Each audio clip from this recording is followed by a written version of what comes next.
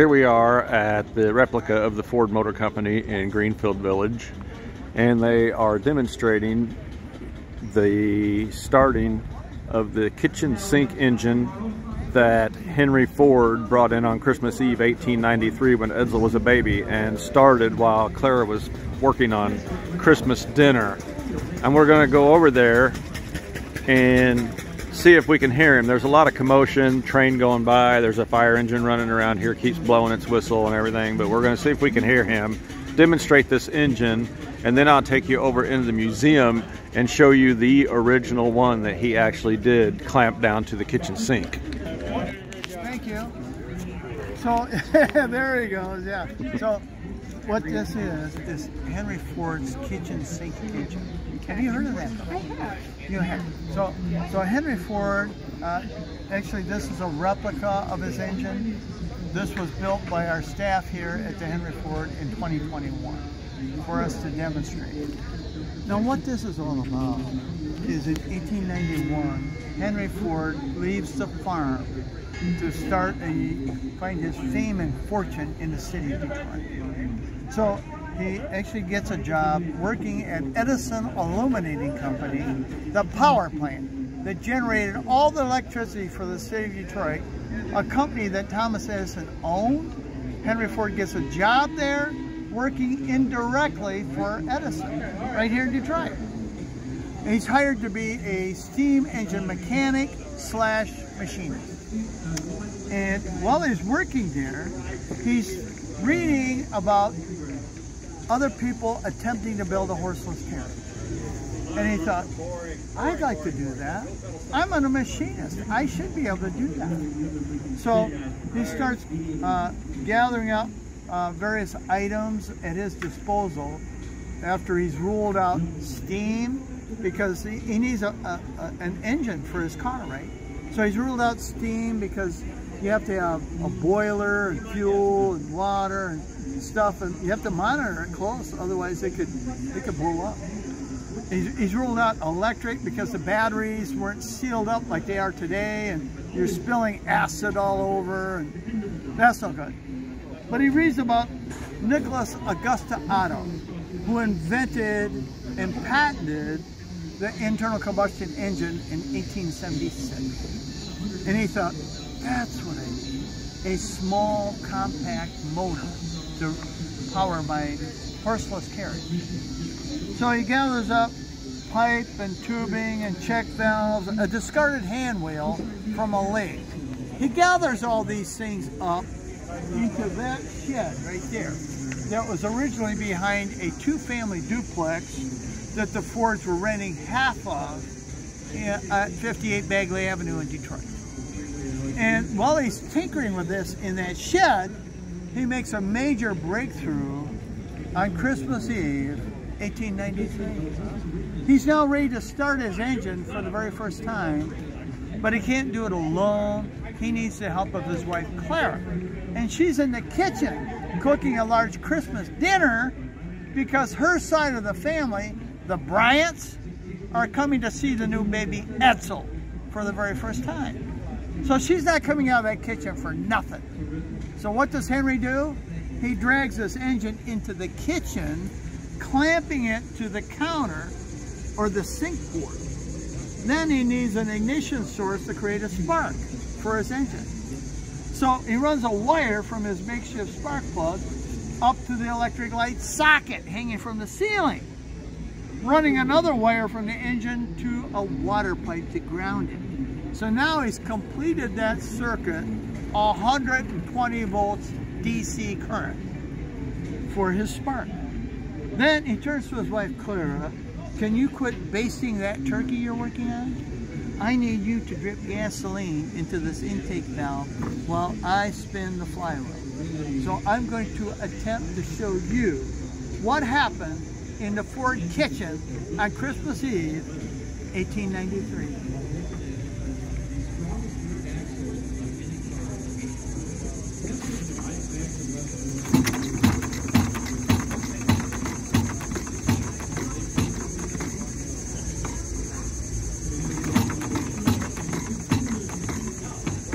We need Clara.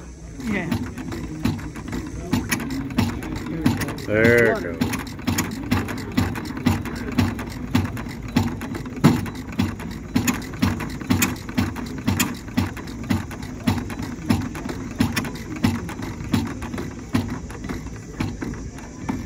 So once the engine started, that was a defining moment for Henry Ford, the beginning of his automotive career. So we'll try and start it again. I think I still flooded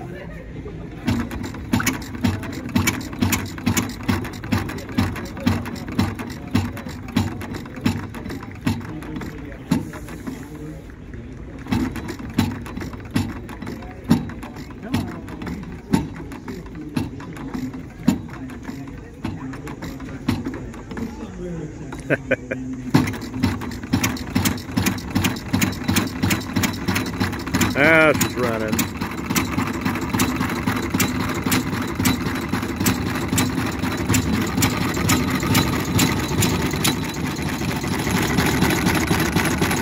Defining moment for Henry.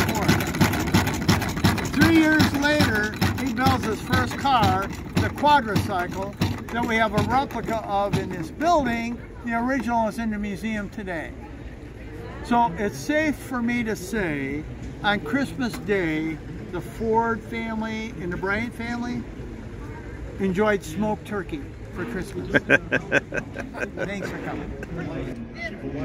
Because on Christmas I'll take you guys through here, through the Ford Motor Company replica, where sits the 15 millionth Model T. This was the last Model T to roll off the line here in Dearborn, and there would be no more.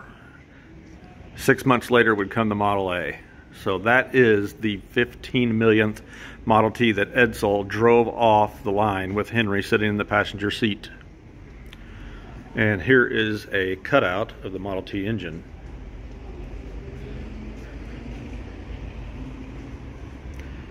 Now we'll walk around here to the Bagley Avenue workshop where Henry actually came up with his first quadricycle.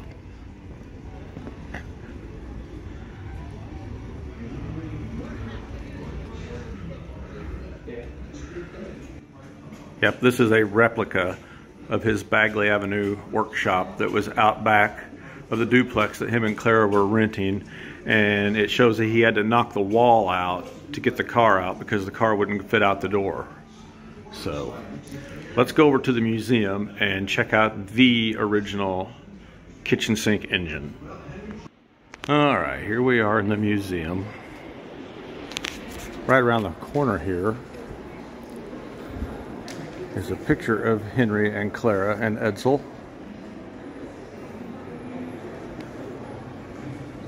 One of my first videos I did on here was a walk through this museum. I can put at the end of this video for you guys to see.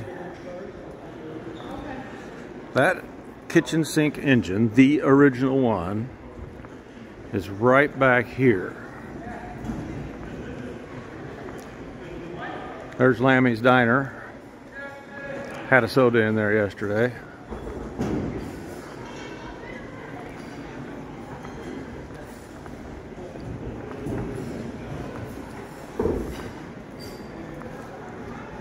So let's see. Edsel was born on November 6th,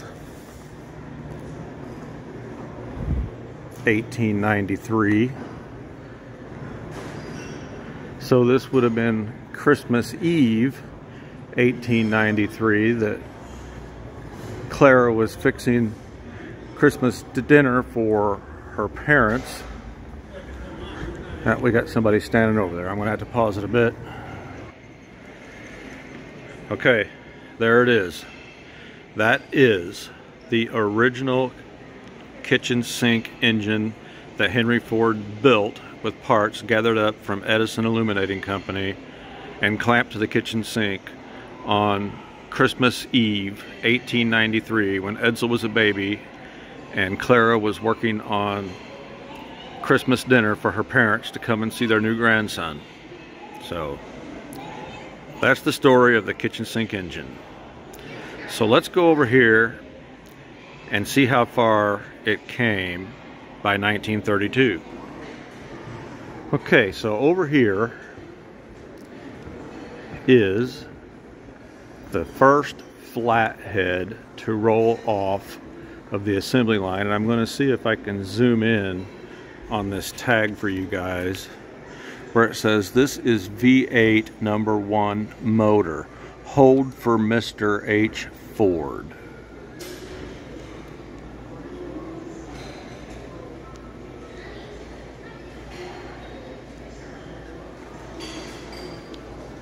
So there you go. We go from 1893 to his first engine that he built, clamped to the, the kitchen sink on Christmas Eve, to this in 1932, an engine that Bonnie and Clyde and John Burroughs and all the gangsters wanted to get their hands on when they wanted to steal a car to get away. So now we'll go back out to the village and I'll show you where this engine here was developed secretly. So this is it. This is Thomas Edison's laboratory that Henry Ford had moved here from Fort Myers, Florida, and actually built him another one down in Fort Myers, Florida, so he could have this one.